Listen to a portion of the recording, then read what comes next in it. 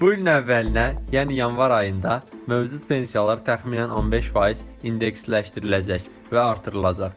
Bu da deməkdir ki, minimum pensiya 200 manat deyil, 230 manat məbləğinə yüksələcək. Bunu Real TV-yə müsahibəsində Əmək və Əhalinin Sosial Müdafiəsi Nazirinin müşaviri Mustafa Abbas Bəyli deyib.